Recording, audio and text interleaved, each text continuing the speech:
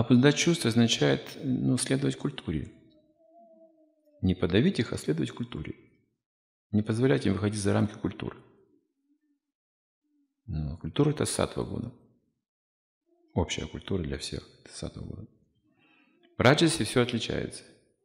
Много политики, много различий. В сатве есть единая культура. Вот за пределы сатвы не выходить. Чувствуем. Как говорил Господь Читание, наслаждайтесь достойным образом.